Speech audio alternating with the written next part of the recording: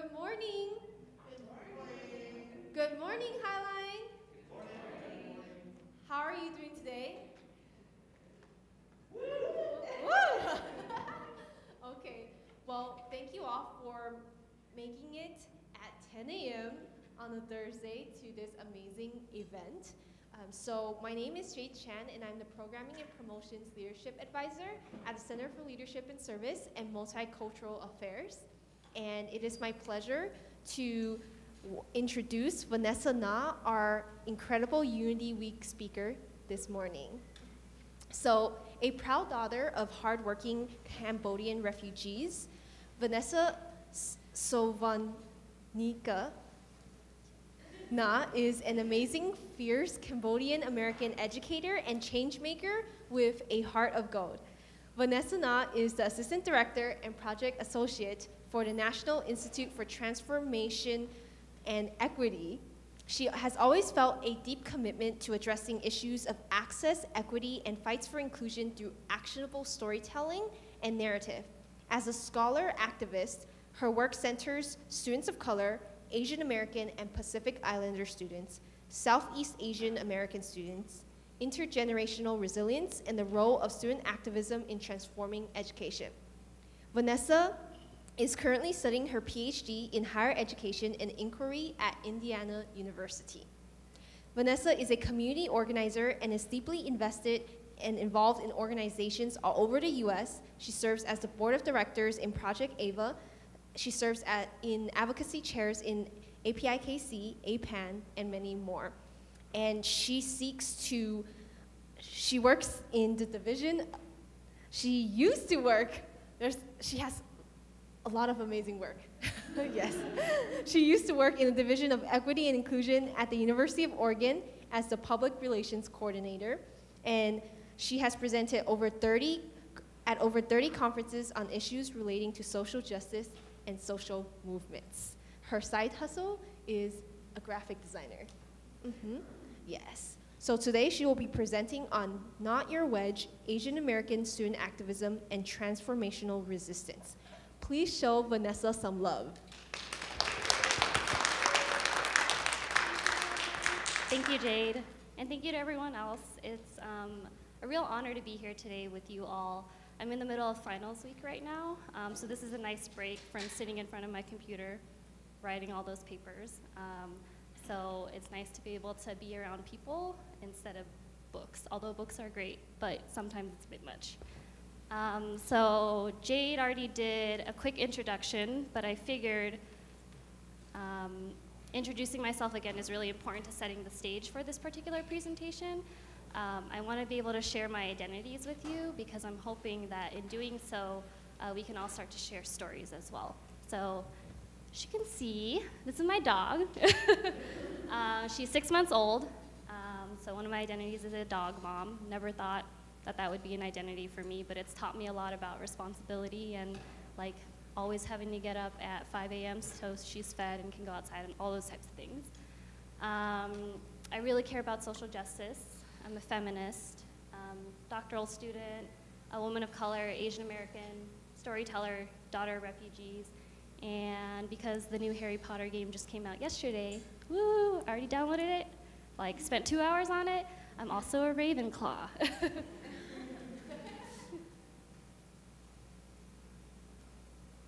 I'm going to do this really quickly. Um, I did want to acknowledge that the land that we're meeting on today has long served as a site of meeting and exchange amongst um, indigenous peoples, and I um, think it's really important to do this um, in order to pay recognition to our history and our current engagement in settler colonialism. Um, so I do want to say that there are 29 federally recognized Native American nations located throughout um, Washington state, and there are probably very many more. So again, again, recognizing that this land, um, it's an honor for us to be here um, and to remember the history of why we're here in the first place. All right. So I did want to give everybody an opportunity to get to know other folks in the room. Um, so I wanted to spend about five or six minutes to give you an opportunity to uh, talk to the person next to you and just tell them the story of your name. How did, where did your name come from? What does your name mean? Um, is there a history to your name? Did someone find it in a baby book? Um, what is the history of your name? So I'll give you about five minutes to turn to the person next to you and share that story. Or you can do it as a group.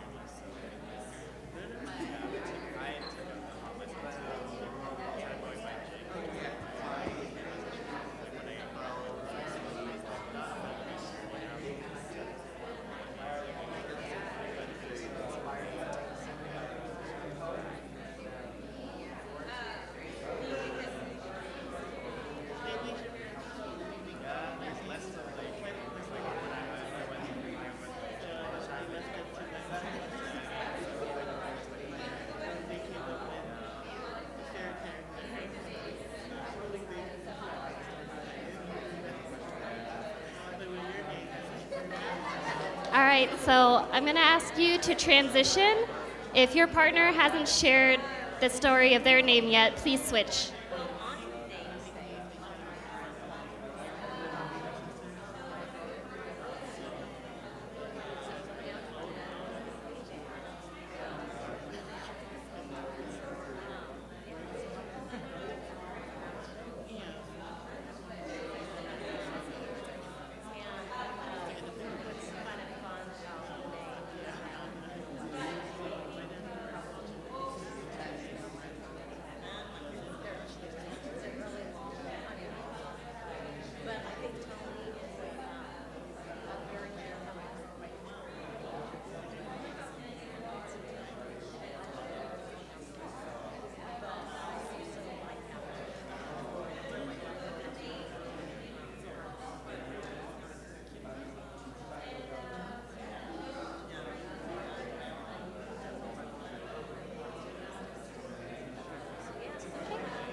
I'll give you all about a minute to wrap up.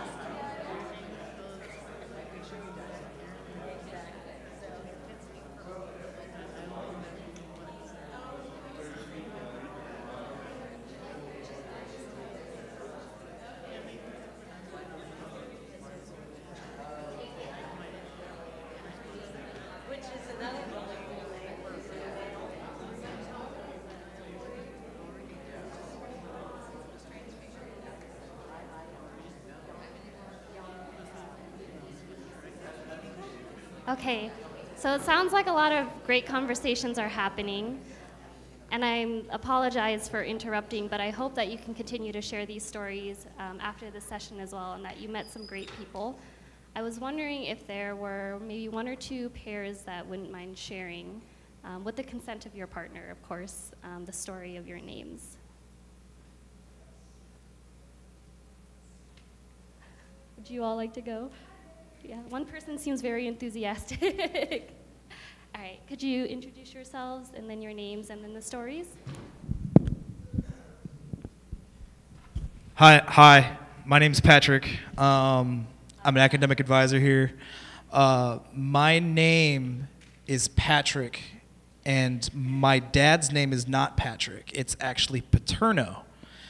And so when they were going to name me, my dad goes, "Oh, uh, we're gonna name him Paterno, Paterno Jr." And real, real, real. This is real. My mom was like, "No, your name is ugly." And so they named me Patrick instead. But my uncles, real uncles, not like family friends. Uh, some of them call me Junior, and I think that's pretty cool. So I let them call me Junior, but y'all can call me Pat. That is mine. Doris? Thank you, Pat. Hi, everyone. So, my name is Doris. Um, I'm named after my mom, but Doris is actually not her name. She hated her real name. And so I ended up getting that name, but my middle name uh, is actually Jolani, which was my dad's favorite teacher, but she hated her. So they kind of won with both. So I ended up getting the first name because of her and then getting my middle name to uh, even it out with my dad. Thank you for sharing. Are there other folks who would like to share? Yes, of course. Please share.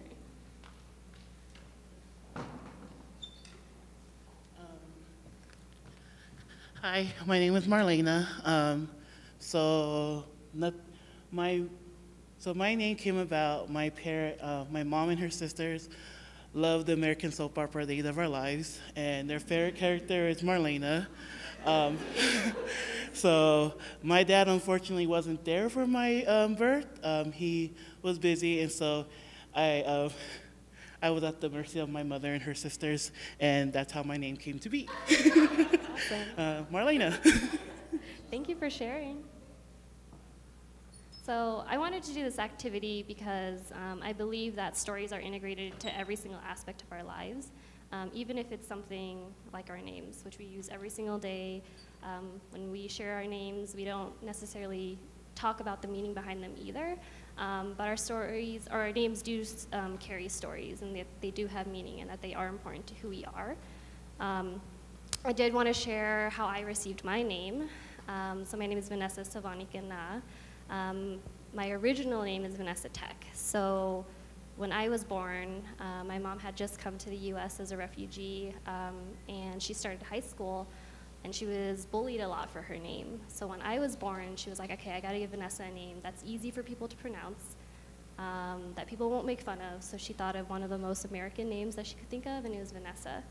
Um, as I got older, I didn't realize the reason why she did that. Um, and once I got to college, I was actually really frustrated and angry that I didn't have a Cambodian name. Um, so when I got married, my grandpa gifted me a Cambodian middle name, and I also changed my last name to my mother's name instead of my partner's name um, because I really wanted to reclaim that identity back um, because it was taken forcefully from me, not from my mom, but by various systems of oppressions that happened in the United States when they came.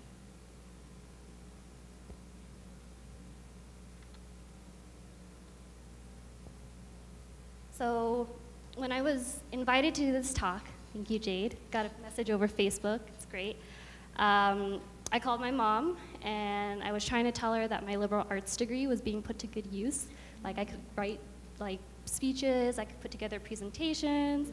I'm sorry I wasn't making a ton of money because now I'm in education, but I could talk. Um, and she was telling me that um, everything I actually know is from her and that she should have been invited to speak here instead. so, so next year, if you all need a speaker, she uh, is the original, um, she's the OG. So I would recommend bringing her and she can tell you her stories too. Um, so this slide, do people recognize the photos on this slide at all? Some of them?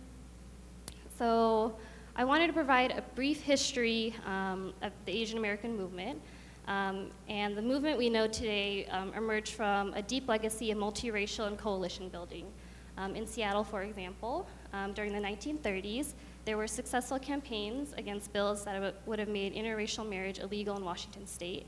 Um, and Japanese folks, Chinese folks, and Filipino activists came together um, to prevent those bills from happening. So again, his, uh, Asian American movement has existed for a very long time.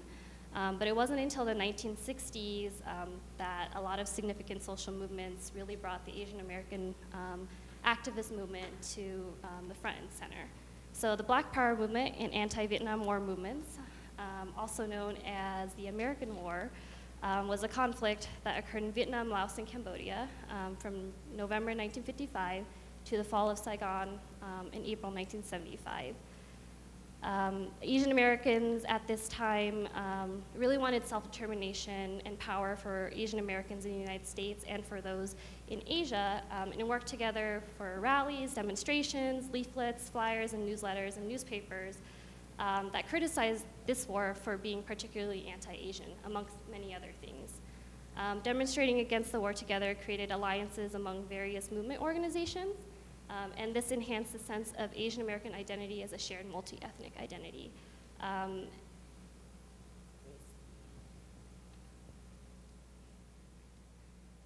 so before we move into Vincent Chin, um, as all of this was happening, um, at Berkeley, there was a graduate student named Yuichi um, Ichioka, who would go on to be a really influential historian, um, and he coined the term Asian American.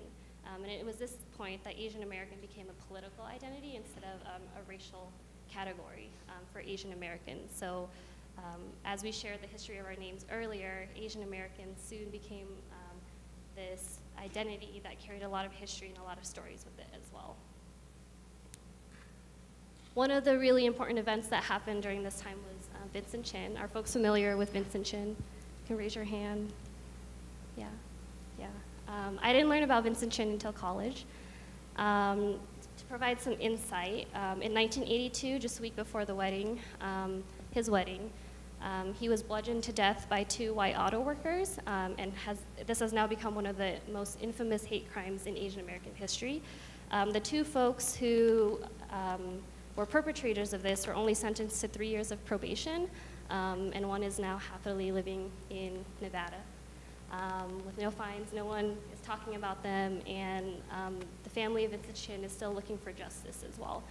Um, they were fined $3,000, and that was it. So $3,000 for a life um, is apparently what Asian American lives are worth.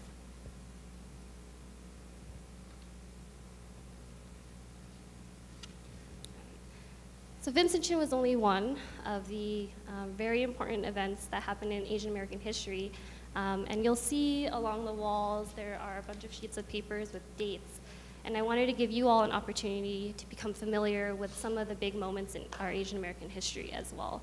So I'm gonna let us spend the next maybe 10 minutes for you all to get up, uh, move around a little bit since it's early, um, and to go ahead um, around the left side and the right side of the room. Um, and there are a few on the doors outside there too um, for you to go ahead um, and read independently some of these events. So let's give you all 10 minutes and I'll bring you all back.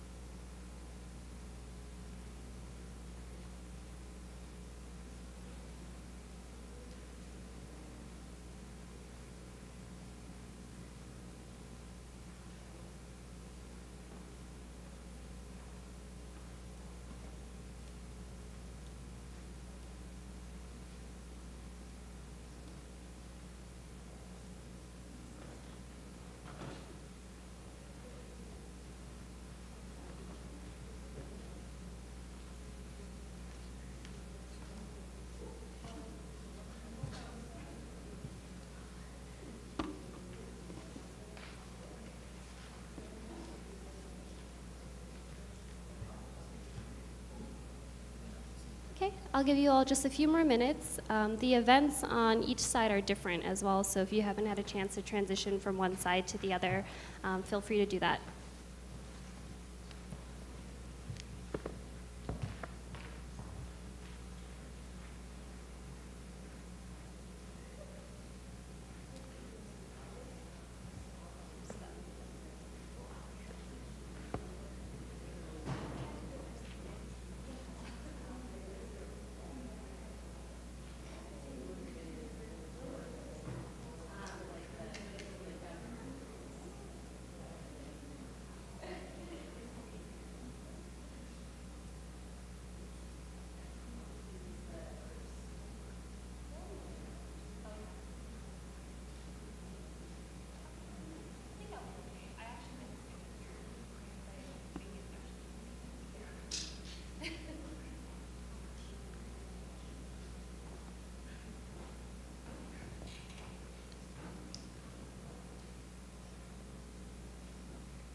Okay, so I'll give everyone about another minute um, to finish up what they're reading um, and then heading back to their seats.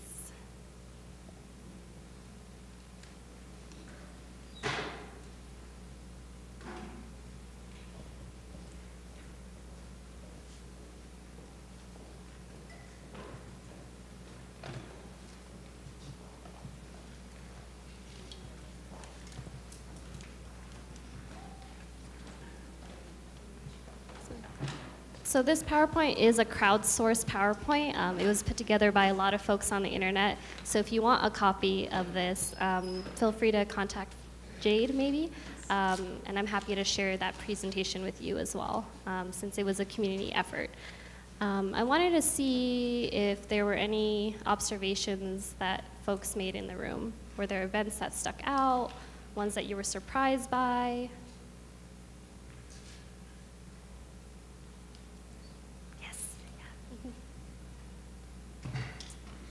I really appreciated that there were um, online events as well as the like in-person political historical ones that the online ones um, really show that there's a lot of way to have something happen um, within that atmosphere and i think it's really relevant to folks who are in college right now as well so thank you for including those Yeah, thank you for that. Yeah, that's a good intro to what the presentation will then go into very soon. Other observations?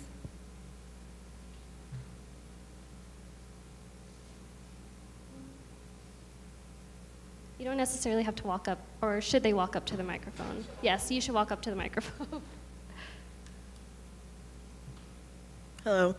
Um, I thought it was interesting to see, like, after seeing the slides with, um, I can't remember, I think it said, like, Asian Peril supports Black Power or something, and then seeing the event where the Asian American cop killed the unarmed, unarmed black man and how that kind of just, like, caused so much commotion and, like, not a lot of people know about, you know, supporting Black Power, but more people know about the injustice rather than the justice that was fought in unity, so, yeah.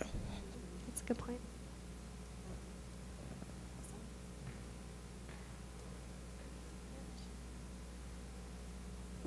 So I wanted to do this activity um, because I wanted to show how, one, we're usually only given one story of our history, and two, a lot of events happen simultaneously at the same time. Um, so as you were looking around, it's likely that you didn't see very much that had to do with my family's history. Um, my family's history um, and my dia- diasporic history started um, in 1982. Um, here are events from, uh, pictures from um, our wedding, my partner and I's wedding. We did a Cambodian ceremony. You can see my family there. And um, I just think that it's interesting, but probably not coincidental, that there was so much civil rights movements happening in the United States at the same time that my family had a catalyst um, that would change their lives forever.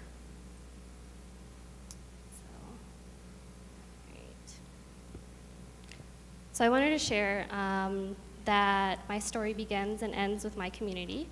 Um, without them, I wouldn't know history, and I wouldn't know the movement that I'm a part of and have the responsibility to also continue. Um, all of the events that are placed around the room today are intimately connected, not just to each other, but also to us and also this present moment. A lot of us are here because of these movements. Um, in order for us to imagine a future that's diverse, multiple, and filled with possibilities, uh, we have to also recognize and complicate the past that has been shared with us and the past that we have been told is true. Um, and more often than not, we're only given, again, one version of this past. For myself and my community in particular, talking story is one of the ways that we preserve those movements. Um, storytelling is important to me because it's allowed me to preserve my own roots, and it's allowed me um, to share our experiences in ways that are real and authentic. Um, stories give us the ability to challenge what we learn in our history books, um, and also gives us the power to advocate for visibility and representation. Stories also give us the right to write our own histories, um, and they can move systems and trans in, transform institutions. Um, storytellings are also resistance, and stories can um, also start revolutions. So I want you to imagine this. On April 17, 1975, um, Phnom Penh fell to the Khmer Rouge. Like many Khmer Americans, my family came to the U.S. as refugees from Cambodia in 1982. Um, my grandparents reflect back on this day um, and talk about how the Khmer Rouge scoured the entire city and told everyone that they needed to evacuate because the United States was going to begin dropping their bombs on the city. Um, greeting the citizens with smiles, they expressed that safety was their priority and all those living within the city should evacuate to the countryside. They promised that the invasion would be over soon and that they'd be able to return to the city. But it'd be four years of terror before any lucky survivors would be able to return to the remains of their homes. My family at this point had no choice but to abandon all of their belongings, and at that precise moment, their entire lives. It has to be recognized that history is often written by its victors.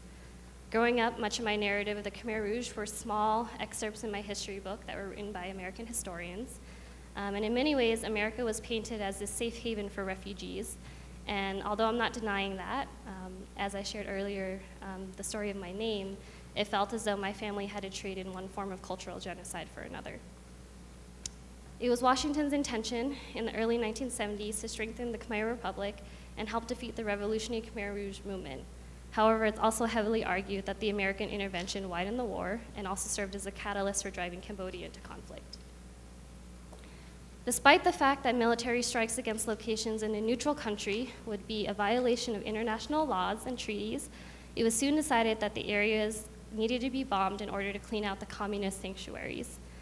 Codenamed Operation Menu, on March 18, 1969, the U.S. Strategic Air Command began bombing eastern Cambodia under the Nixon administration. The primary goal was to uh, destroy supply lines and camps used by the North Vietnamese to wage attacks into the south. In 1969, these secret missions more than doubled, and over a thousand missions were initiated. In the same 14th month period, um, as you saw in this map, 3,600 B-52 raids were conducted against targets in Kampuchea. So you'll see everything in red um, was an area of bombings. The bombings were kept secret, um, not only from the public, but also within the Air Force Command.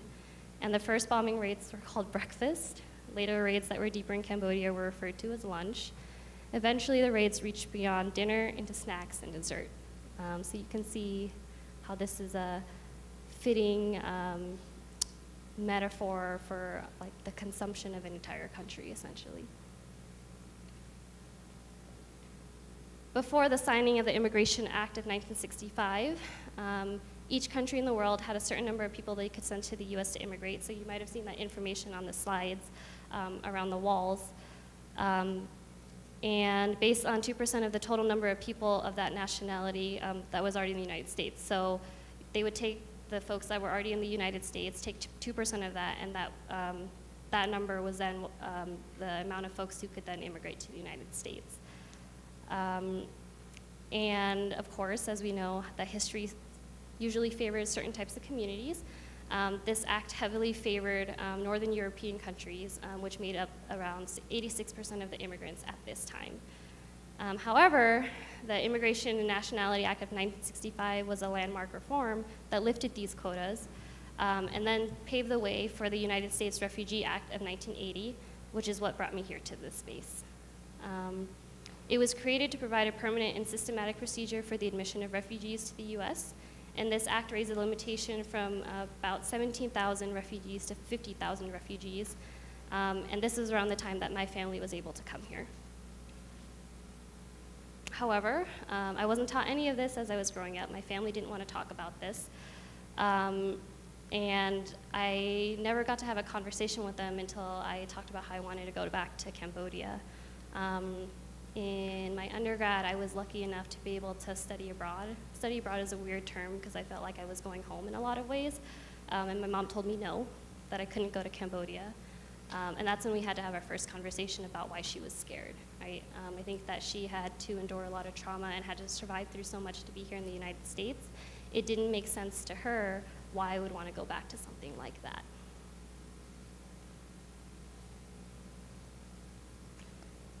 I share a lot about my mom um, because I, I think there's so much to be said um, to have a parent who fell asleep to the sound of bullets and explosions, um, and she's still loving and caring um, and makes everything from nothing. Um, this is a poem, um, Broke the Ocean in Half to be here, only to meet nothing that wants you. And this really resonates with me because my mom came here and my family came here because they had no choice and they gave everything up. Um, and they did so much to forget that history um, because they faced so much alienation here in the United States um, that people didn't want them. So even though she literally did break the ocean and have to be here, um, there was no one that would accept her.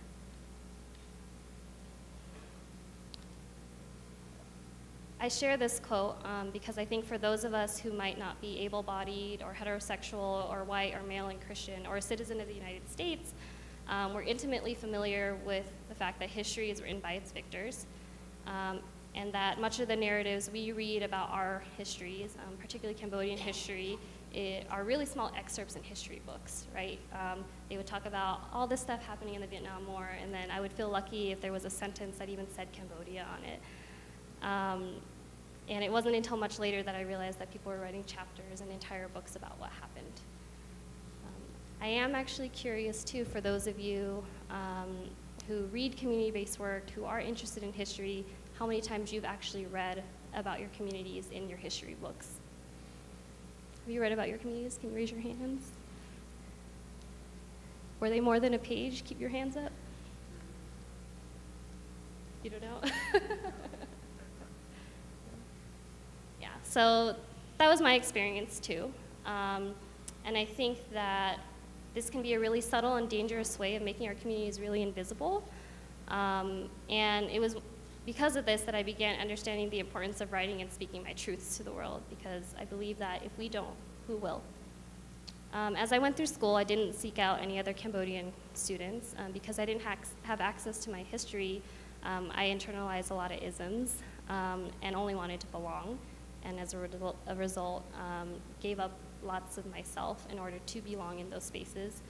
Um, and it's only probably in the past few years that I've begun to finally accept and respect my family's journey. And I wanted to start learning Cambodian and speaking Khmer. Um, so Khmer was my first language, um, but as I went to school, I was taught to only speak in English. Um, and when I finally got the chance to go to Cambodia, I was able to take intensive um, classes so that I can now kind of read, kind of write, um, and speak it conversationally. I also got a tattoo, which my mom was not happy about when I was in Cambodia. Um, my grandpa um, had written family for me before I went to Cambodia, and I decided I wanted it tattooed on my neck um, because my family is always with me, um, and even if I can't see them, I know they always have my back. My mom was like, whatever. That doesn't matter to me. You still have something on your neck. But, you know, as long as I think it's special. um, um, funny story is that about two weeks later, I found out my siblings had also got tattoos on their necks, but we didn't tell each other. oh, no worries. Um, and then we like randomly found out that we all got tattoos behind my mom's back, and it was all in the same location, different tattoos, but all on the back of our necks. So something happened there. We were communicating, communicating with each other somehow. Um,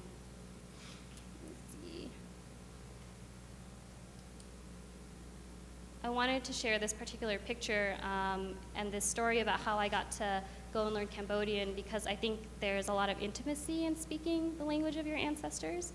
Um, for people in the room who might speak another language or multiple language, um, you probably know this. It's an intimacy I didn't understand um, when I was younger. Um, growing up, my mom would call me Gon or child in Khmer, um, and my grandparents would call me Chow or grandchild. Um, and I realize now that them referring to me as this affirmed their tenderness and love for me, even when I was least receptive to feeling it. Even though I don't speak Khmer with complete confidence today, um, Khmer will always serve as a reminder of love to me. It makes sense because Khmer is a language um, that love was first expressed to me. It was a language spoken by those who nurtured me from birth. And when I speak Khmer, it invokes a visceral sense of my family's um, love and invokes memories of how my family, long before I was even born, um, had a vision and hope for a more loving future. And it's because of them um, that I now practice radical love. Which then leads me into my social justice journey. Um, so, for those who might be familiar with um, some of my work, I use social media uh, Facebook, Twitter, Snapchat, Instagram, all of those. Feel free to add me on any of them. um, I use them as a way to speak out and resist. Um, and I'm sure many of you are familiar with Twitter and the use of hashtag activism as well. Do people recognize any of these? Have followed any of these before? They're awesome conversations. I highly recommend um, if you have some time to go look at the threads as well, they're still up.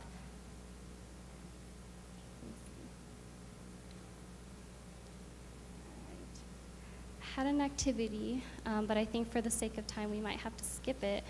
Um, but I was actually curious if there were hashtag movements that you've seen or heard of or followed that aren't up here that other folks should check out. People want to share. Yeah. Hashtag am I next? Other hashtag movements?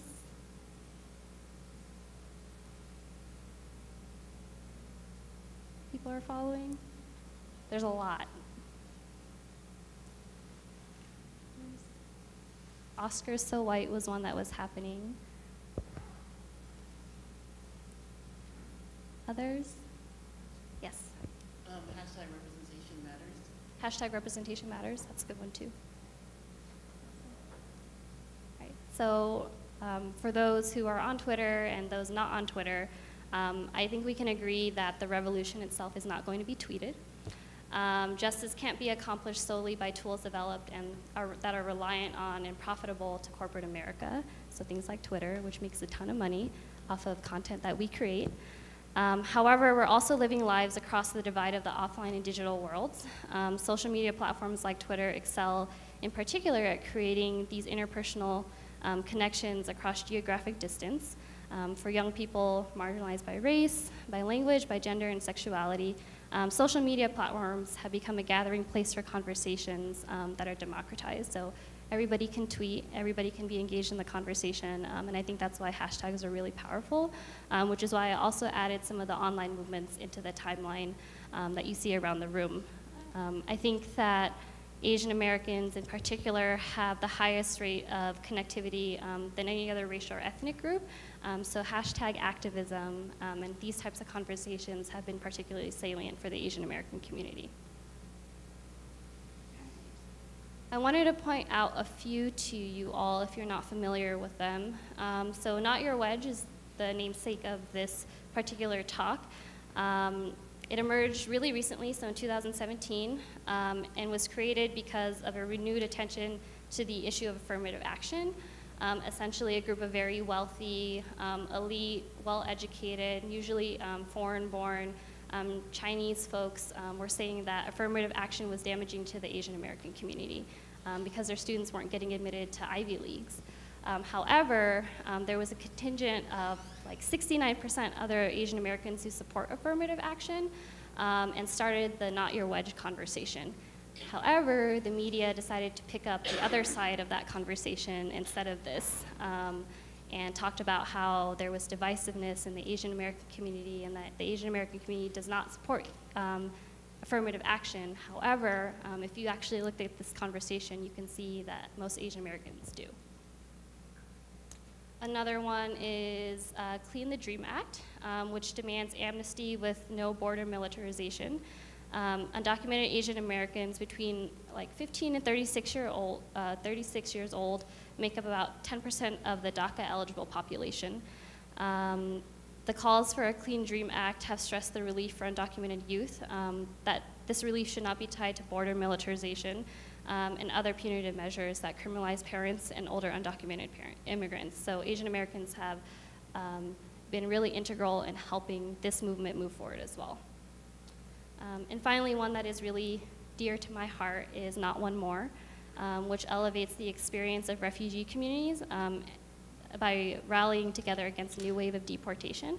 Um, so during the four years of the uh, war that I uh, shared earlier, um, there were um, all the refugees who came to the United States, and now there's a movement to deport all of them back.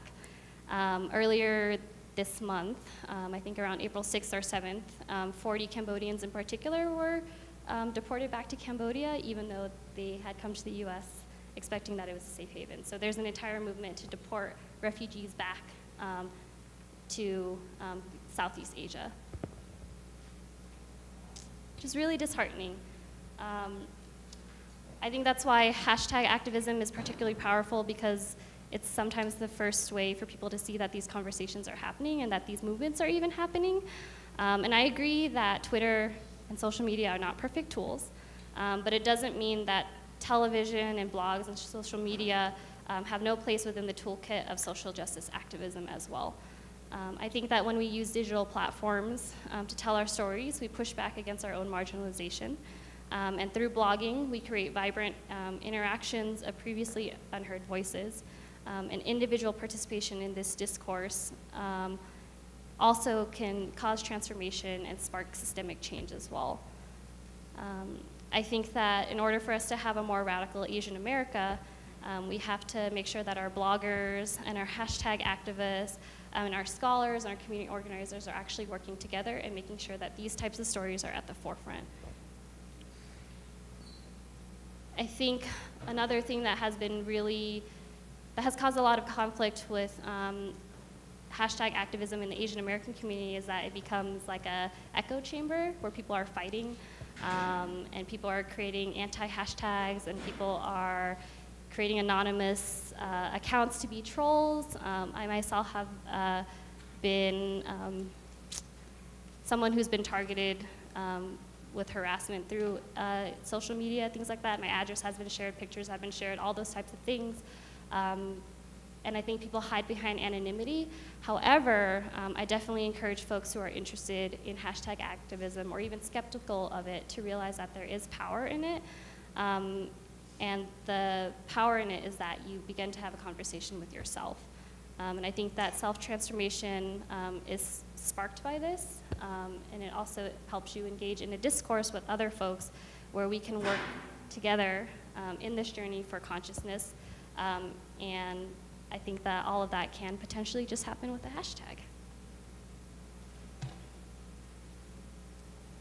Awesome. All right. Let me see what our time is.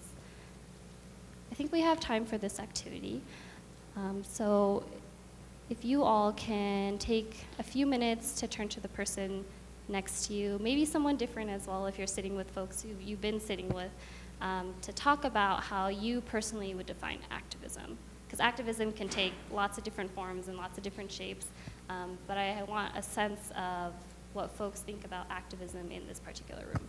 So, how would you define activism with someone next to you?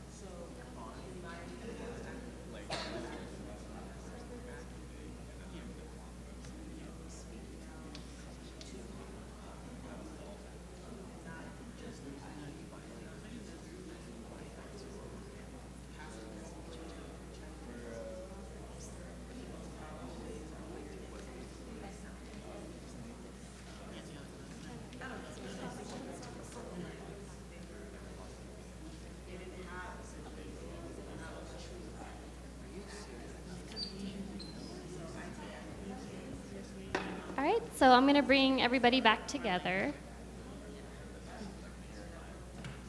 I'm sitting now because I realized that maybe heels were a mistake. So, yes, never. That's true. That's true. They look cute. So I'm just going to I'm going to rest them for a little bit.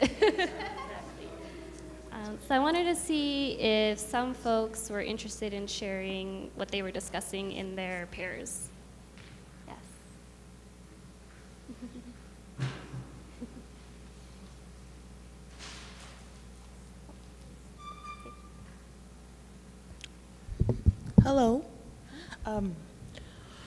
When we when I was in my group, we shared that uh, activism is defending people who even might not show the same appearance or um, reflection of you.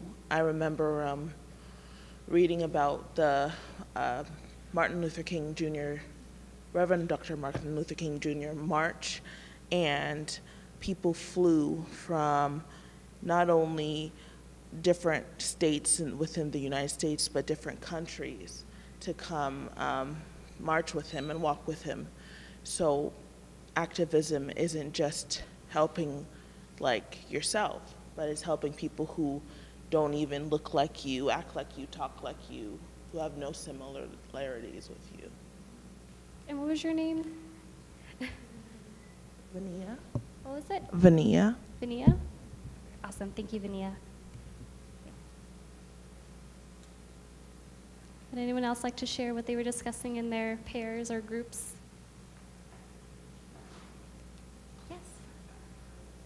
Yes.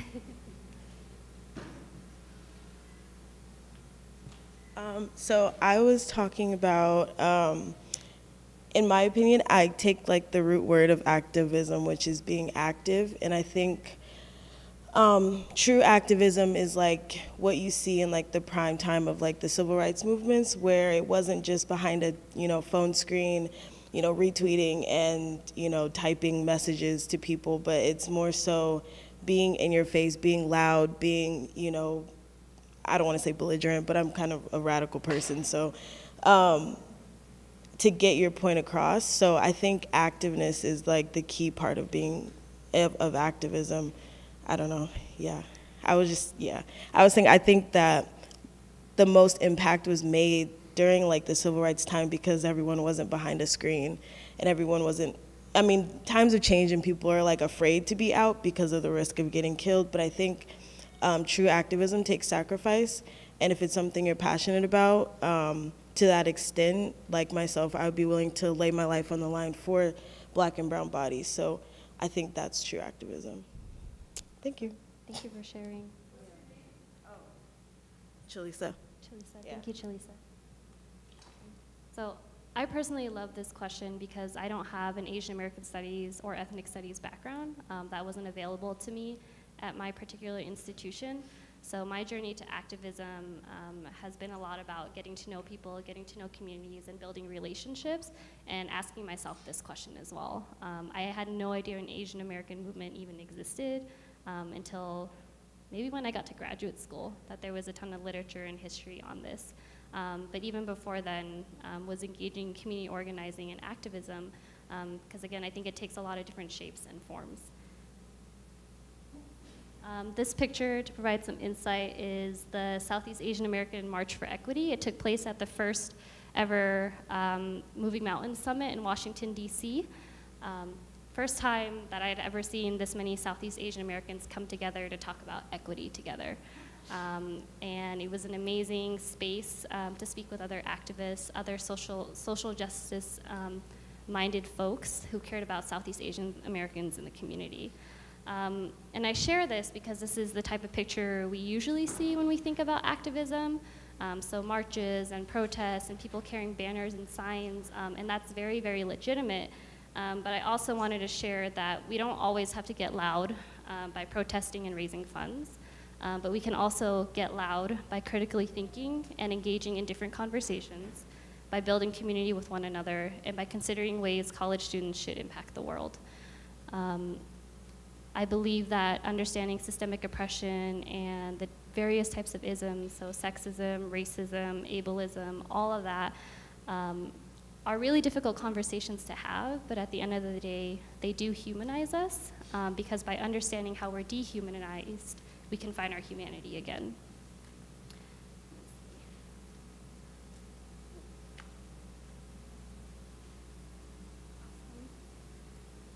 When I started um, having these conversations with myself, um, I soon realized that social justice actually means being closer to your community and not above your community. Um, as a PhD student myself, I hear all these things about how we're going to go in and save the community and how academics are going to save the world, and that's not true at all. Um, I think that there are a lot of issues in the academic space where we think we're above our communities um, when really our communities are at the forefront of the work that we do. Um, I think that learning new concepts like social justice, like oppression, etc., um, should enable us to make space for our, commu our, community and not move us away from our community. Um, it's also reminded me that some of the most powerful change agents um, are folks who are doing the everyday work to get by. Um, these folks are the ones who really get recognized, um, and they're the ones who actually do the most for our community. Um, so people who work in the school system, custodians, seamstresses, waiters, waitresses, local business owners, um, immigrant and poor families who are trying to find ways to make ends meet. Um, these people often show us what social justice looks like before we even learn the language for it. So if our movements aren't reaching these folks, then our movements don't matter. All right.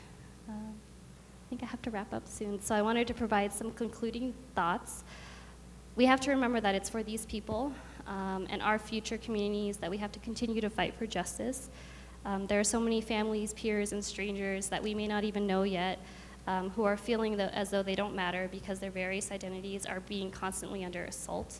Um, from identifying as queer to being trans, from being black in a police state to being undocumented, um, this assault isn't going to end until we stop it. This attack can be as obvious as a racial slur, um, or it can be as insidious as our own policies and procedures. Um, we have a responsibility to stop it personally and systematically, um, and we need to promote restorative justice and healing practices that embrace everyone. Um, and as I shared earlier, I think all of us need to practice radical love because when we love our communities, we expect our communities to be better, and we hold them accountable to be better. Um, I wanted to share just some final things as people think about their social justice journey and how to build coalitions.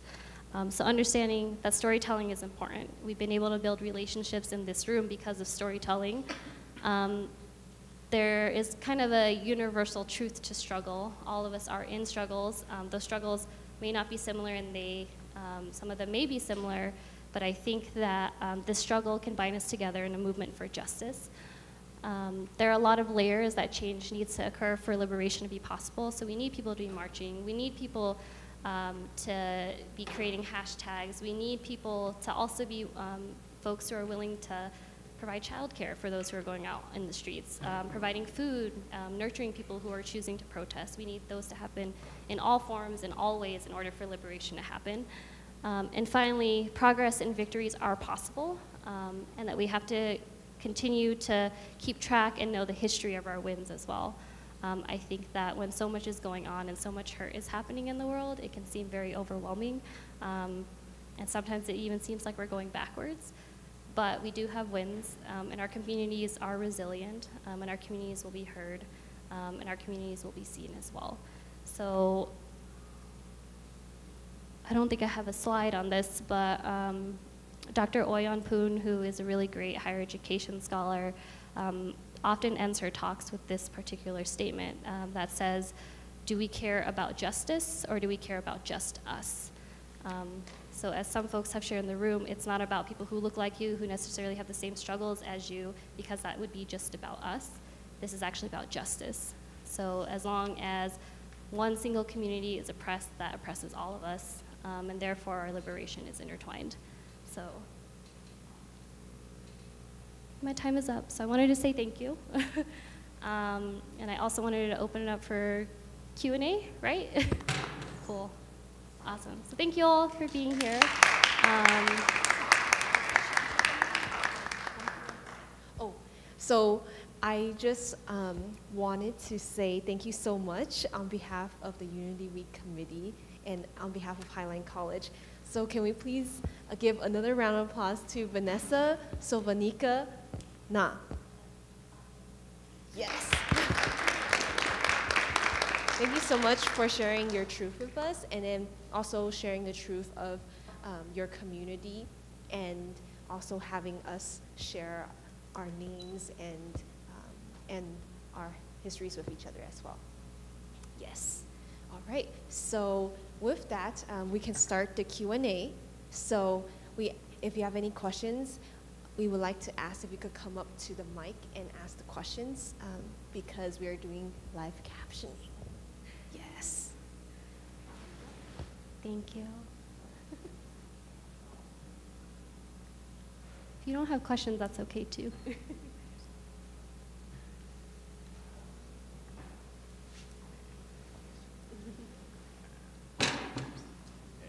So formulate my question, but um, in terms of so I identify as Filipino, um, well actually I am Filipino, but um, so there's always the talk of um, like the token Asian of like when people say Asian they always think um, uh, Chinese, Korean, Vietnamese, uh, no, not even, not even Vietnamese, like Chinese, Korean, or Japanese. And then us Southeast Asians are left out and we're not considered part of that population. And like, um, it's not, because we don't have, the, we don't face the same problems and we don't even look the same. And then that also is, I thought, uh, I think I'd like you to just like expand on like affirmative action, uh, the affirmative action hashtag and how that is helping or what we can do to like help um, with with that aspect of the community because we're I, essentially in terms of like when we're fighting for our rights and social justice and stuff when we say Asian American activism people just think that side of that side of the Asian American diaspora and not the Southeast Asian side. Mm -hmm. what was your name again? Oh, my name is Jeremy. Jeremy? Mm -hmm. awesome. Thanks, Jeremy. I think that question, the answer to that question can go on for days without a solution. um, I think what you're bringing up was my frustration with getting involved in Asian American activism in the first place. Um, so I was born and raised in Denver, Colorado. Um, there wasn't a large Asian American population there, and for some reason, um, I found Asian American activism in the Midwest. there was like a conference that came to my university, and then I got recruited to go to a Midwest Asian American Student Conference, and that's when I realized um, that there were other Asian American students who cared about social justice and activism. Um, so I was super excited. I was like, these are my people. Um, but then because um, I recognize that I'm very East Asian passing, I'm very light skinned, um, I would be in rooms with other Asian American student activists and I would hear them say horrible things about my community um, because they didn't know I was in the room. Um, so they would talk about Cambodian Americans in a very deficit lens, right? Like, um, oh, Cambodian Americans don't care about coming to this conference because they're too involved in gangs or drugs or they're not in school. And they would say these there. Um, and then it was at that point I realized that the Asian American movement, although powerful, um, has also left a lot of us out. Um, and I've made it um, one of my personal commitments to be in those um, East Asian American centric spaces to talk about Southeast Asian Americans and South Asians and Pacific Islanders because they're also often left out of the conversation.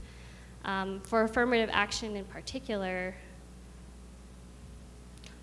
I always have challenges with this because I feel like, yes, um, affirmative action is important to the Asian American community and Southeast Asian American community in addition to other communities of color. However, I think that there's a lot of injustice done when Southeast Asian Americans are only brought up when affirmative action is happening, right? Like the Asian American community doesn't talk about us unless it affects the entire Asian American community, right? People are talking about affirmative action, but they're not talking about the deportation of Cambodian Americans. And I think that that's a larger issue. Um, so I feel like before we can even coalition build with um, other communities of color, our Asian American community has a lot of work to do internally because um, I think that there are certain groups um, within the Asian American Pacific Islander umbrella that are already invisible even to each other. Um, and it's a lot of work for one person to do, um, and no one person should be doing that work. Um, but going into these Asian American spaces that are supposed to be socially just and even those that aren't, and letting them know that like Southeast Asian Americans, Pacific Islanders, South Asians are here, um, and we're listening, um, and our histories and our stories are just important too. So um, I make it really apparent now when I'm in spaces that I identify as Khmer because I don't want to hear those things again. um, and I don't want people to think that is okay. So I hope that answered your question. I think we have a lot of internal work to do before we can even um, make changes happen um, with other communities of color.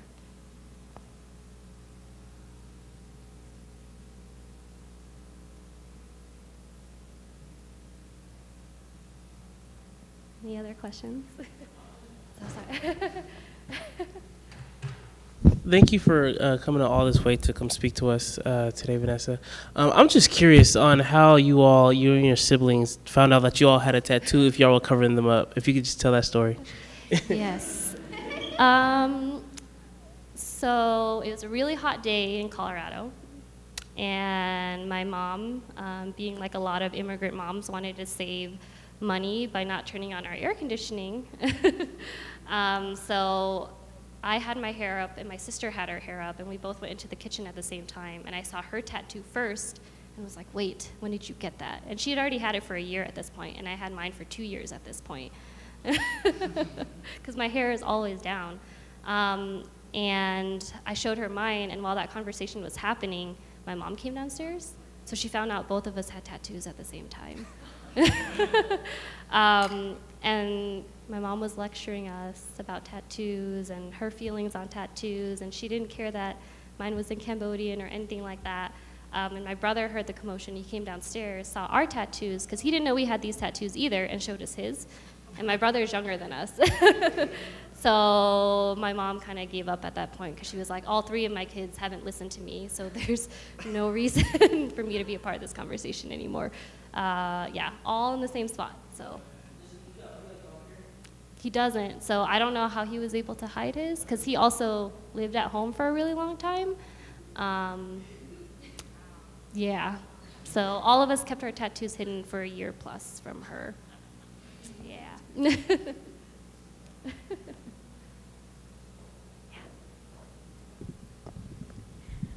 Hi, Vanessa. Thank you. Um, you mentioned earlier that you were a feminist. I wanted to know how has being a feminist um, shaped your work today?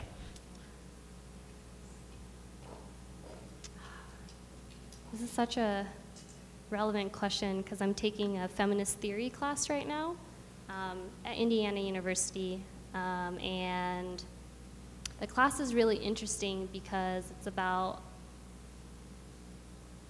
feminism and the ways it has excluded um, like women of color too. So it's talked about the history of feminism as being created by um, white women and what that means.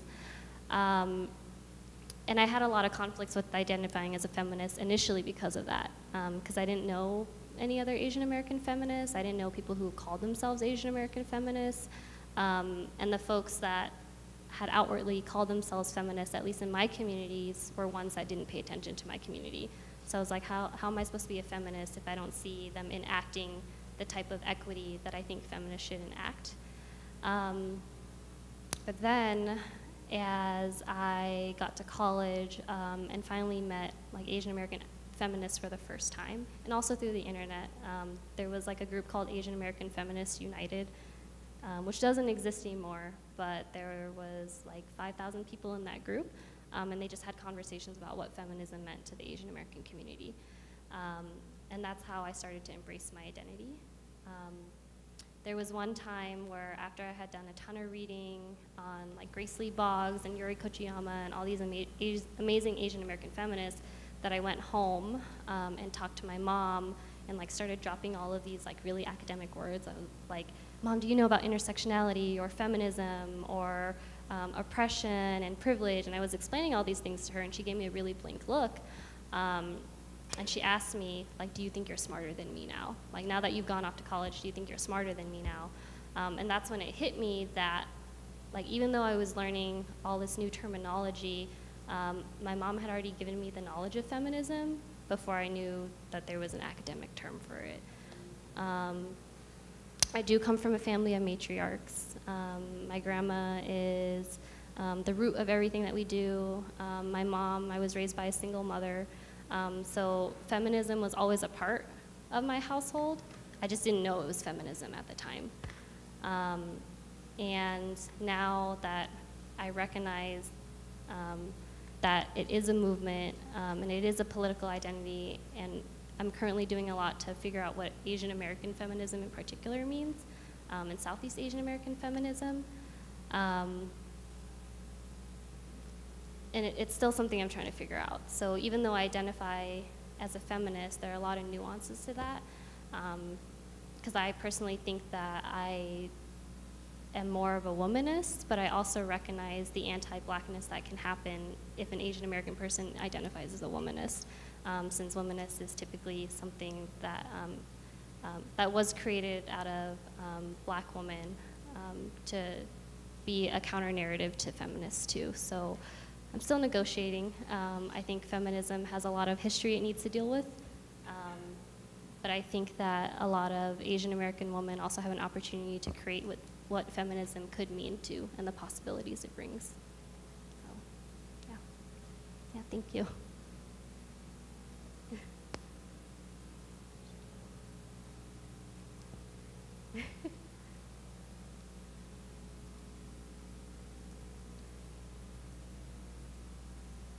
Any other questions?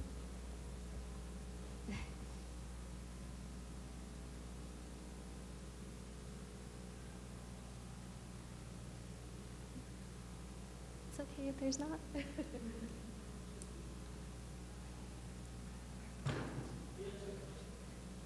I have a question. Let's keep this rolling. okay, um, I have a question. So, I was wondering if you could share um, some advice that you might have for folks who who grew up in an environment where they were um, where they have an identity that wasn't um, that was under attack or wasn't appreciated. Um, so, for example, I grew up in a community where I was always bullied for the color of my skin, um, and also for um, socioeconomic status. And so, what, um, how can we find our own counter narratives and begin that journey of that that self-love for our own communities, but that knowledge to embrace our, our motherland or our identities. Yes.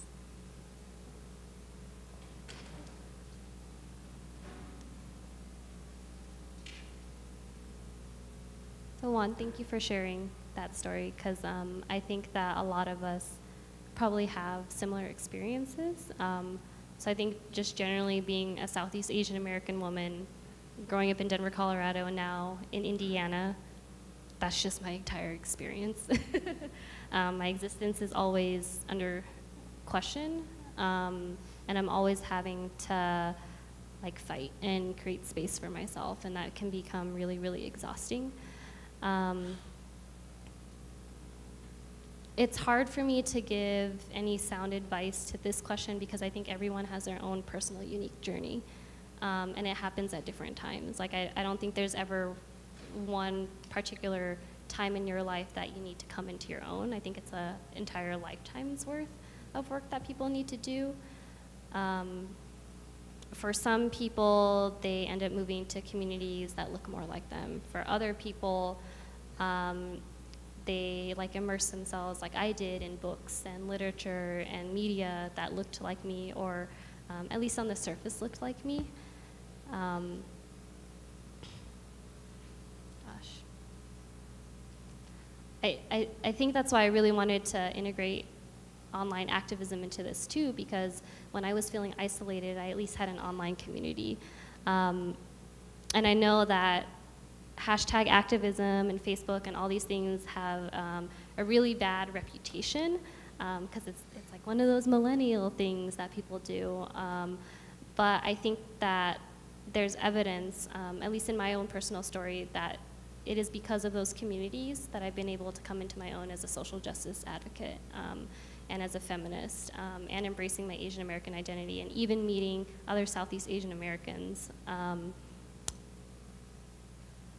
I think that it's really important to take advantage of those, and I think for those in the room who are here at Highline, um, there are tons of resources and pathways to begin creating those opportunities. Um, I think we're really privileged to even be at a college campus, at an institution, um, have access to certain things that many other communities don't.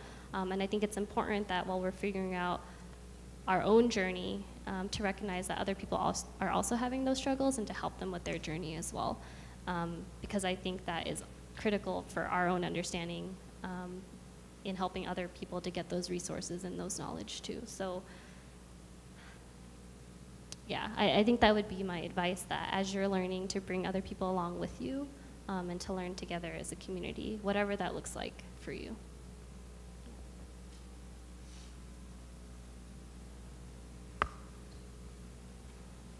Time. Right. So that concludes our event today. Can we please give Vanessa Sovanika Na a um, some Highline love? Yes.